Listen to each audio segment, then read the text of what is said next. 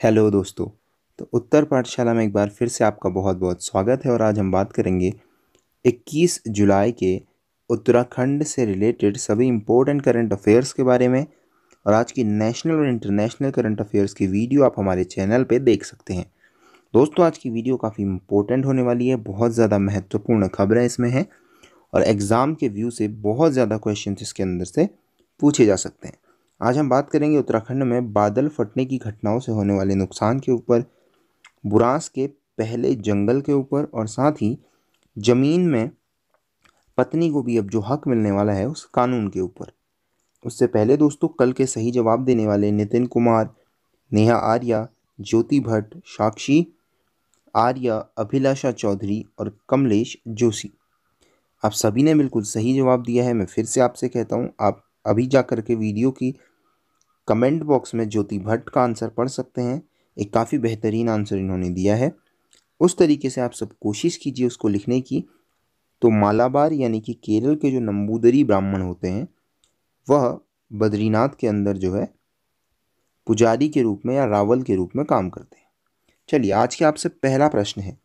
कृषि अवसंरचना निधि के बारे में सत्य नहीं है। एग्रीकल्चर इंफ्रास्ट्रक्चर फंड के बारे में कौन सा कथन सत्य नहीं है? Which one of the following is not true पहला, योजना की अवधि वित्तीय वर्ष 2020-21 से 2029-30 तक 10 वर्षों के लिए है। अगला, इस योजना के तहत एक लाख करोड़ रुपए का जो लोन है, ऋण है, वो मंजूर किया जाएगा और वितरित किया जाएगा।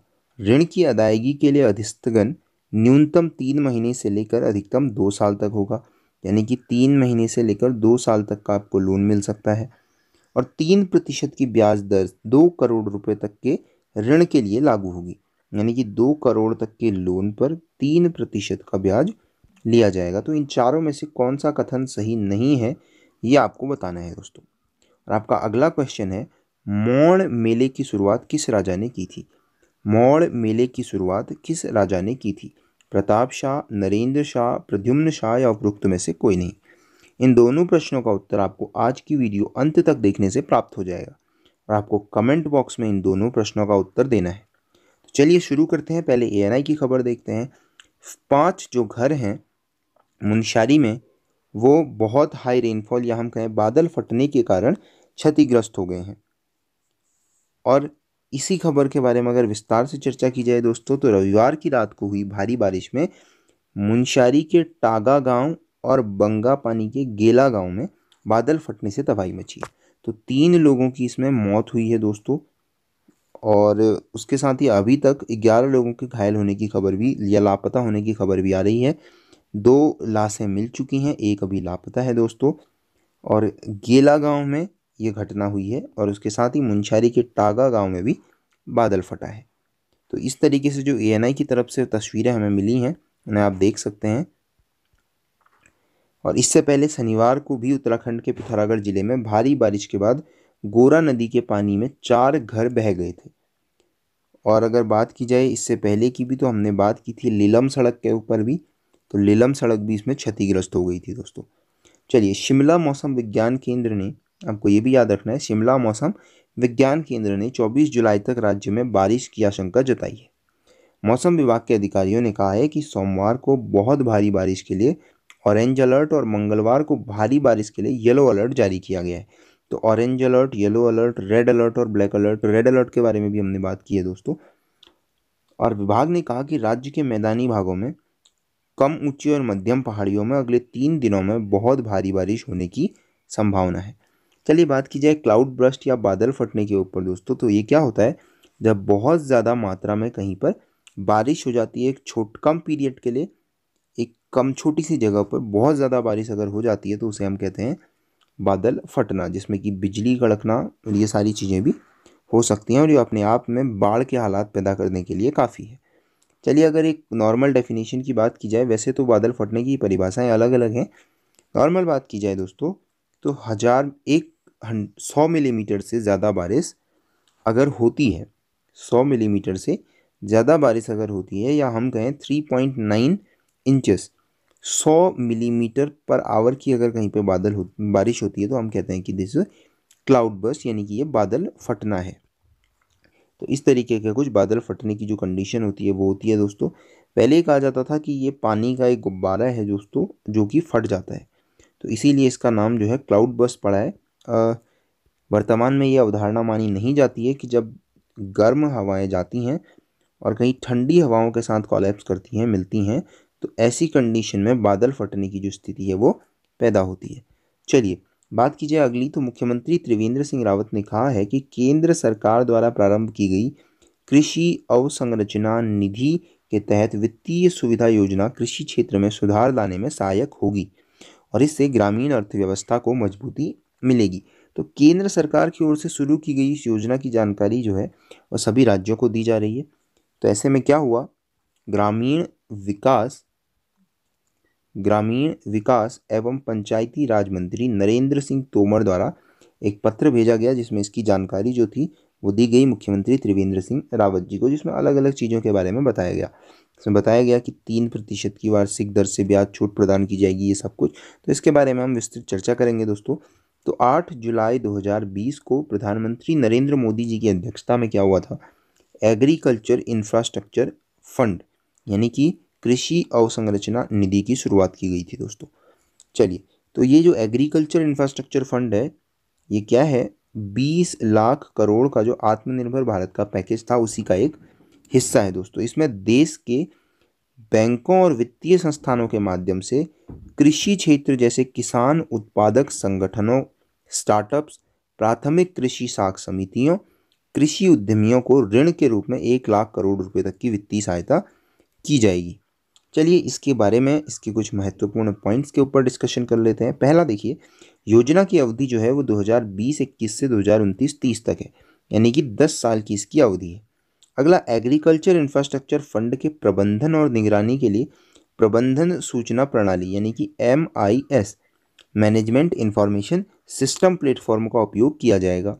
अगली बात की जाए, इस योजना के तहत एक लाख करोड़ रुपए के ऋण मंजूर और वितरित किए जाएँगे, जिनमें से चालू 2020-21 वित्तीय वर्ष में दस हज़ार करोड़ और अगले तीन आगामी वित्तीय वर्ष में तीस हज़ार करोड़ रुपए स्वीकृत और वितरित किए जाएँगे।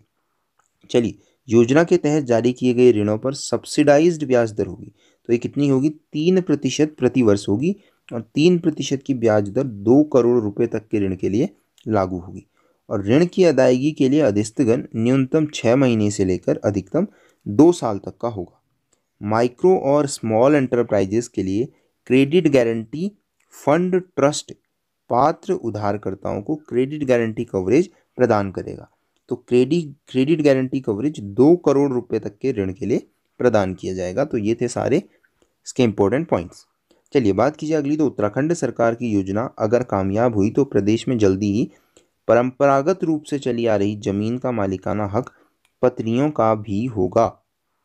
तो इसमें क्या है दोस्तों?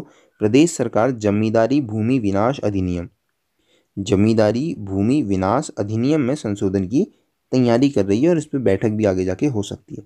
और कुछ समय पहले इसमें संशोधन भी हुआ था जिसमें विधवाओं को अधिकार दिया गया था। तो अब पुत्री को भी ज़मीन का यह अधिकार देने पर विचार किया जा रहा है। तो इसी में पत्नियों को भी क्या है सरकार गोल खातों का अधिकार देने की कोशिश कर रही है। तो इससे होगा क्या कि जो महिलाएँ हैं, वो भी क्या कर पाएँगी? इस भूमि के आधार पर लोन लेने में सक्षम होंगी। चलिए इस एक्ट के बारे में थोड़ा बहुत देख लीजिए। मेनली यह उत्तर प्रदेश जमींदारी विनाश एवं भूमि व्यवस्था अधिनियम 1950 या उत्तर प्रदेश जमींदारी विनाश एवं भूमि व्यवस्था अधिनियम उन्नीस ये संशोधन का था। तो इसमें पहला संशोधन अगर उत्तराखंड के हिसाब से देखा जाए तो आप देखेंगे 2003 का है। उत्तरांचल, इसमें इसको उत्तरांचल कहा गया, उसके बाद उत्तरांचल, जमींदारी, विनाश एवं भूमि व्यवस्था अधिनियम 2003 तो इसमें क्या संशोधन था दोस्तों? जो विधवाओं के ऊपर हमने पढ़ा, विधवाओं को ज़मीन का अधिकार वो इसी संशोधन में दिया गया था 2003 में।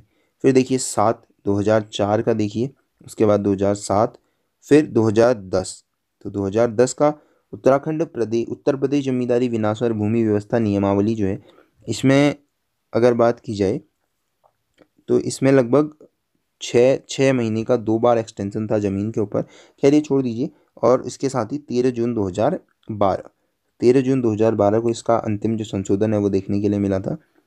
इसमें भी ऐसा ही कुछ छः छः महीने के लिए गैप से एक साल तक का एक्सटेंशन दिया जा सकता है। ज़मीन के ऊपर कुछ कंडीशन में उसे बेचने के ऊपर। जिलाधिकारी का कुछ ऐसा संशोधन था ये, छोड़ दीजिए, वो इम्पोर्टेंट नहीं है, आपको याद रखना है, इसके संशोधन जो थे उनके ऊपर, और ये याद रखना है कि जो 2003 वाला संशोधन था, उसी के अंदर विधवाओं को भी अधिकार दिया गया था ज़मीन के ऊपर। चलिए नरेंद्र नगर वन प्रभाग के एसडीओ मनमोहन सिंह बिस्ट एवं जौनपुर रेंज के कर्मचारियों की कोशिशों से इन दिनों बुरास खंडा में बुरास का जंगल तैयार किया जा रहा है। अब आप अगर बुरास खंडा नाम देखेंगे, टिहरी के अंदर ही है बुरास खंडा अगर आप देखेंगे तो बुरास खंडा में पहले बुरास नहीं हुआ करते थे। तो यहाँ बुरास का जो जंगल है, उसको कृत्रिम रूप से तैयार किया जा रहा है। तो जो राज्य वृक्ष बुरास के पौधों से प्रदेश का पहला बुरास का जंगल तैयार किया जा रहा है। तो ये कहाँ किया जा रहा है?